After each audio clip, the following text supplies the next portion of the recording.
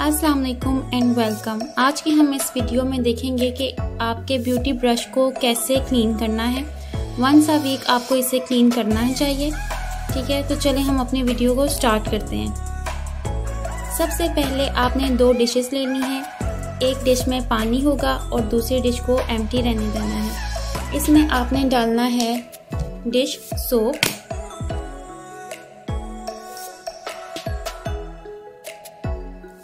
ठीक है?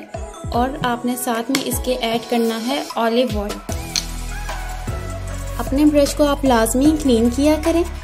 इसमें बहुत से बैक्टीरिया होते हैं जो कि आपकी स्किन के लिए हार्मफुल हैं। तो जब आपने इसमें ब्यूटी ब्रश को डालना है सोप में और ऑलिव ऑयल में तो इसको अच्छे तरीके से रोटेट करना है।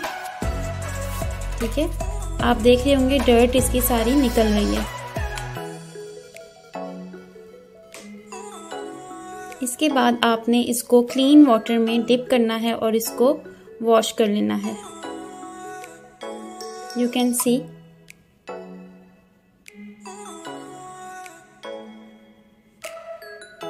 सारी डर्ट आपके ब्रश में से बाहर आ गई है और आपका ब्रश बिल्कुल नीट एंड क्लीन हो जाएगा।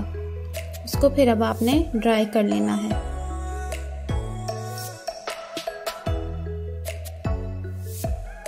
देखिए कितने अच्छे तरीके से आपका ये ब्यूटी ब्रश क्लीन हो गया है। आप देख सकते हैं, कितना क्लीन हो गया। ये वाइट इसके कलर है, ठीक है?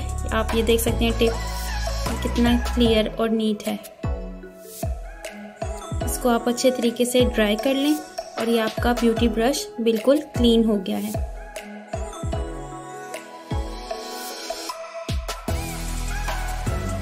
अब हम चलते हैं अपने सेकंड स्टेप की तरफ़. That is beauty blender clean करना. आप देख रहे होंगे कि इसको मैंने बहुत ज़्यादा डर्टी किया हुआ है ताकि मैं आपको इसको क्लीन करके दिखा सकूँ. तो इसके लिए सबसे पहले आपने लेना है सोप वाटर और वार्म वाटर ठीक है, ये नीम गर्म पानी होगा. ये सिंपल वाटर है और सोप आपने सबसे पहले इस ब्यूटी ब्लेंडर को क्लीन वाटर में डिप करना है.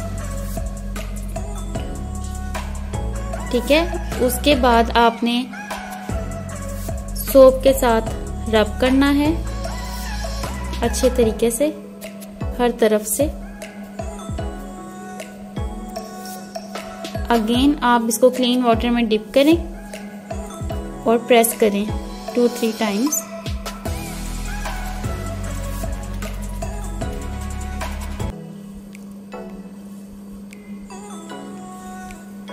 उसके बाद आपने इसको नीम गर्म पानी में डिप करना है कुछ देर के लिए।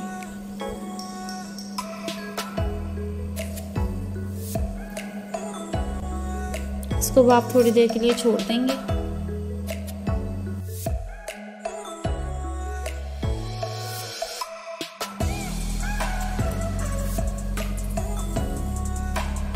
अब आप इसको निकालेंगे एक दो दफ़ा डिप करके।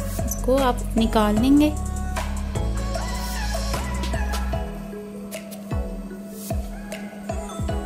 अब आप देख सकते हैं कि ये बिल्कुल क्लीन हो चुका है।